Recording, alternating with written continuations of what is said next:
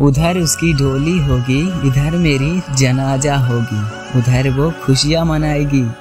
दुआ है कि वो सारी ज़िंदगी ऐसे ही खुश रहेगी। उधर वो नए रिश्ते बनाएगी, इधर मैं सारे रिश्ते तोड़ के जाऊँगा।